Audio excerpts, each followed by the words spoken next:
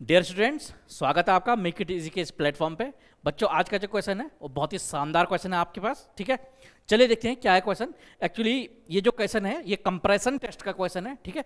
क्योंकि इन compression compression test की जब हम बात करते हैं तो यहाँ पे जो फेलियर का प्लेन होता है बच्चों, वो अलग होता है, अलग ब्रिटल या डक्टाइल मटेरियल में, दोनों में, वो अलग होता है जब सेम मटेरियल का केस हम देखते हैं टेंजाइल टेस्ट में, ठीक है? इसीलिए इस क्वेश्चन की इंपॉर्टेंस थोड़ा बढ़ जाती है, ठीक है? देखते हैं क्या क्वेश्चन इन कंप्रेशन टेस्ट ये इकट्ठा लिखा गया है लेकिन इसने अलग होना चाहिए ये कंप्रेशन टेस्ट की बात कर रहा है, ठीक है? कंप्रेशन टेस्ट ठीक है? In compression compression test the cast iron specimen would cast iron की बात कर रहा है। आप जानते हैं कास्ट आयरन एक क्या है? ब्रिटल मटेरियल है, ठीक है? तो ये बोल रहा है कि ब्रिटल मटेरियल क्या है? किस तरह का बिहेवियर शो करेगा? तो fracture along at right angles to the axis of specimen, fracture along the axis of load, would not fracture fracture along an oblique plane, ठीक है? चलिए। डेफिनेटली ये हम सब जानते हैं कि जो ब्रिटल मटेरियल होते हैं they are strong in compression but weak in tension ठीक है? Ductile material are strong in tension but weak in compression ये तो हम सब जानते ही हैं, ठीक है? इसमें कोई दिक्कत नहीं है। चले आते हैं। ये है बेटा फेलियर का जो प्लेन के लिए डायग्राम मैं आपके लिए लाया हूँ, ठीक है? This is the brittle material में इस तरह का आपका फेलियर होता है, ठीक है? ये आपका लोड लग रहा है यहाँ से, ठीक है? और ये फेलियर प्लेन जो आपको यहाँ से दिख रहा होगा this is your failure plane ठीक है?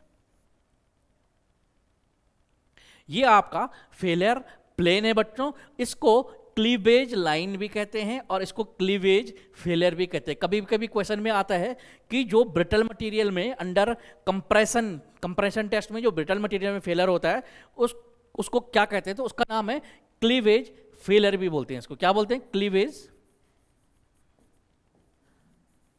फेलियर ठीक है? या फ्रैक्चर क्लीवेज फ्रैक्चर ठीक है? दिस इज़ क्या है? Under under increasing compression the section will be will fail as shown जैसे यहाँ पे दिखा रखा है, ऐसा आपका फेल होगा दिस इज़ ब्रिटल मटेरियल ठीक है? ब्रिटल मटेरियल का आपका मतलब आप देख सकते हैं कि जो लोड के डायरेक्शन है डायरेक्शन ऑफ़ लोड से, क्या है? 45 डिग्री पे। लोड के डायरेक्शन से 45 डिग्री पे आपका फेल हो रहा है। क्लियर है? इसको दूसरे पेन से दिखा देते हैं आपको। ये आपके डायरेक्शन में लोड है बच्चों, और ये आपका ये एंगल है जिस पे ये प्लेन है, ठीक है?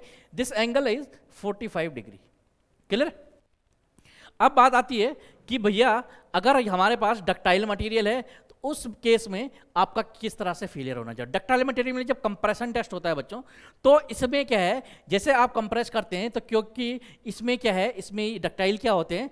डक्टाइल आप क्या है? डिफॉर्म कर सकते हैं अच्छा खासा, ठीक है? तो ये क्या होता है? इसमें इस तरह का सेप आपका बनना शुरू हो जाता है, ठीक है? ये जो सेप है, इस तरह का बनना शुरू हो जाता है पहले। इसका नाम मैं बता देता हूँ आपको। ये इस तरह से बनना शुरू हो जाता है, पहले इस तरह से होता है, ठीक है? ये। इस तरह से यहाँ से मतलब अंदर से बीच, यहाँ से बाहर निकलना मटेरियल मतलब बाहर की तरफ़ आना शुरू हो जाता है मटेरियल ठीक है? तो यहाँ पे लिखा है in the same test will squeeze out squeeze out हो रहा है, ठीक है? As shown and support at support and increasing load तो कोई दिक्कत नहीं। ऑब्वियसली अब ये स्क्वीज आउट हो रहा है, ठीक है? इसको कहते हैं हम, अब थोड़ा और लोड बढ़ाएँगे तो आपको कुछ इस तरह का सेक्शन दिखना शुरू हो जाएगा। वेट जब आप लोड थोड़ा और बढ़ाएँगे बच्चों तो आपको कुछ सेक्शन सेम सेक्शन आपको कुछ इस तरह से दिखना शुरू हो जाएगा, ठीक है? मतलब अब बहुत ज़्यादा बल्जिंग हो चुकी है। बल्जिंग मतलब यहाँ से मटेरियल पूरा बाहर इस तरफ़ आ चुका है क्लियर है? तो यहाँ से क्या है? पूरा आपका इस तरफ़ बाहर आ चुका है। इसको कहते हैं बेटा बल्जिंग कहते हैं, इसको कहते हैं बल्जिंग ठीक है? बल्जिंग इसको कहते हैं कि बल्जिंग हो गई है इसमें मटेरियल में, ठीक है? तो डक्टाइल मटेरियल इस तरह का आपका बिहेवियर शो करता है। जैसे टेंशन टेस्ट में क्या है, आपका क्या होता है नेकिंग होता है मतलब आपकी लेंथ जो है इलोंगेशन अच्छा खासा होता है। सेम चीज़, यहाँ पे आपकी लेंथ की शॉर्टनिंग बहुत अच्छी होती है और एरिया आपका बढ़ जाता है, ठीक? लेकिन जो ब्रिटल मटेरियल होते हैं ब्रिटल मटेरियल में आप जानते हैं, ना तो इनको जो है इनकी जो, इनमें जो डिफॉर्मेशन है, वो बहुत ज़्यादा नहीं होते हैं आपके, ठीक है? दैट्स वाई जितना इसने लोड सहा सहा, उसके बाद ये क्या हुआ? फ्रैक्चर हो गया अलोंग 45 डिग्री ठीक है? अगर हम यहाँ पे देखें तो यहाँ पे क्या हो रहा है आपका?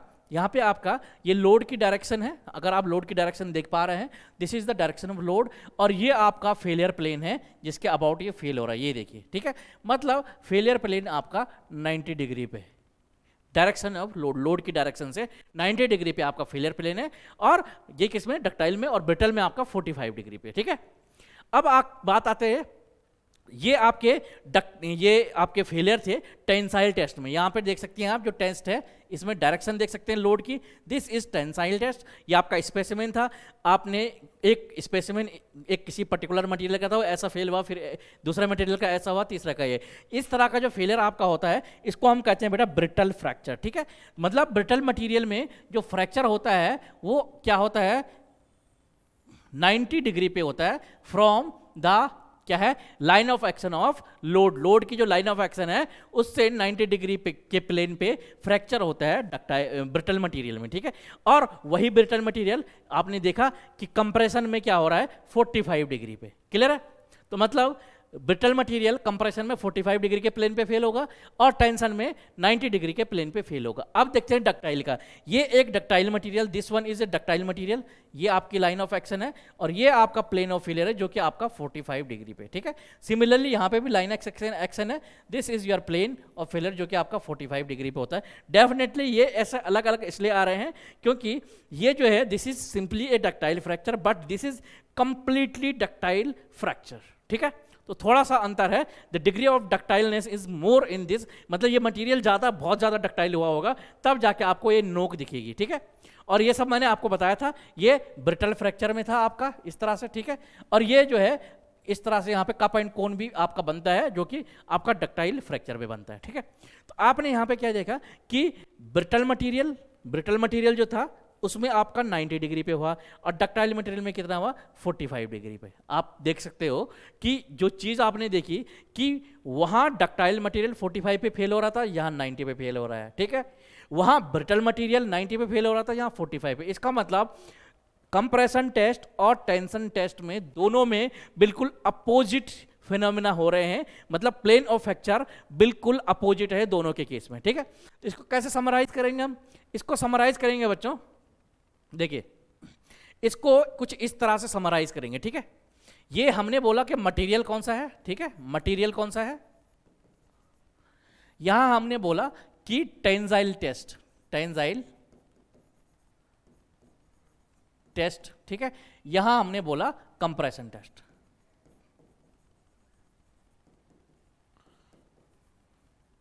ठीक है?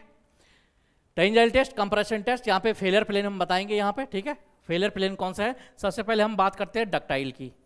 डक्टाइल में आप जानते हैं कप एंड कौन फ्रैक्शन होता है, ठीक है, टेंजाइल टेस्ट में। तो क्या है? 45 जो एंगल होगा आपका, वो क्या होगा? 45 डिग्री, ठीक है?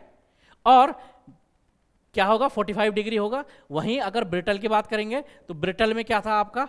ब्रिटल में आपका था 90 डिग्री, ठीक है? जो कि हमने अभी यहाँ पे देखा ये ब्रिटल था, जिसमें क्या है, आपका 90 डिग्री है this is one is 90 degree and ये डक्टाइल था आपका, जिसमें 45 डिग्री क्लियर अब हमने एक चीज़ कही, क्या कही भाई? हमने ये कहा कि भैया, यहाँ बिल्कुल अपोजिट होगा मामला। अपोजिट क्या होगा? अगर एक 45 है डक्टाइल मटेरियल में फेलियर प्लेन अगर टेंजाइल टेस्ट में 45 डिग्री है तो कंप्रेशन टेस्ट में होगा एंगल 90 डिग्री ठीक है? अगर ब्रिटल मटेरियल टेंजाइल टेस्ट में 90 डिग्री पे फेल हो रहा है तो कंप्रेशन में वो 45 डिग्री पे फेल होगा, बस इतने मतलब आप किसी एक को याद रखिए, आपको दूसरा याद रखने की ज़रूरत नहीं जस्ट आपको अपोजिट करना है। क्लियर तो चलिए आते हैं आप ओरिजिनल आपके क्वेश्चन पे, जो आपका क्वेश्चन था। कास्ट आयरन एक ब्रिटल मटेरियल है कंप्रेशन टेस्ट हो रहा है तो आपको मैंने बताया कि कंप्रेशन टेस्ट अगर होता है तो क्या है? क्लीवेज फ्रैक्चर बनता है 45 डिग्री के एंगल पे। ब्रिटल मटेरियल में, ठीक है? तो फ्रैक्चर अलोंग राइट एंगल नहीं राइट एंगल है, नहीं है. Fracture along axis of load नहीं है. क्लियर है? एक्सिस ऑफ़ लोड के अलोंग तो कभी भी नहीं होता है, ठीक है? वुड नॉट फ्रैक्चर बिल्कुल गलत. फ्रैक्चर तो होगा भाई. Fracture along an oblique plane बिल्कुल सही. अब आप कहेंगे, सर, आपने 45 डिग्री बोला, लेकिन ये ऑब्लिक प्लेन बोल रहा है. Actually 45 degree is an oblique plane oblique plane का मतलब होता है अदर देन 90 अदर देन मतलब 90 डिग्री पे जो load of line of action से 90 डिग्री पे जो प्लेन होगा, उसके अलावा जो भी प्लेन आपके पास हैं they the those plane are called oblique plane ठीक है? ऑब्लिक एंगल आपने सुना होगा, जो एंगल अदर देन 90 डिग्री वो ऑब्लिक एंगल होते हैं। तो इसलिए क्योंकि ये 45 डिग्री पे फेल हो रहा है तो this is in oblique plane clear है? तो इस तरह से आपका आंसर हो जाएगा। ठीक है? तो चले बच्चों मैं आशा करता हूँ आपका बिल्कुल कंसेप्ट इसका पूरा क्लियर हो गया होगा और जब भी क्वेश्चन में जो भी आएगा टेंजाइल टेस्ट कंप्रेंशन टेस्ट या ब्रिटल डक्टाइल जो भी आपके पास आएगा, बिल्कुल आप बेहिचक बिना किसी दिक्कत के इसको टिक कर पाएँगे, ठीक है? तो चलिए बच्चों, अगर आपको वीडियो पसंद आया हो तो वीडियो को लाइक करें कमेंट करें शेयर करें और अगर आप हमारे चैनल पर नए हैं तो चैनल को सब्सक्राइब ज़रूर करें और बेल आइकन दबाना ना भूलें ताकि हमारी हर इंपॉर्टेंट वीडियो की नोटिफिकेशन आपको मिलती रहे। Thank you so much for watching this video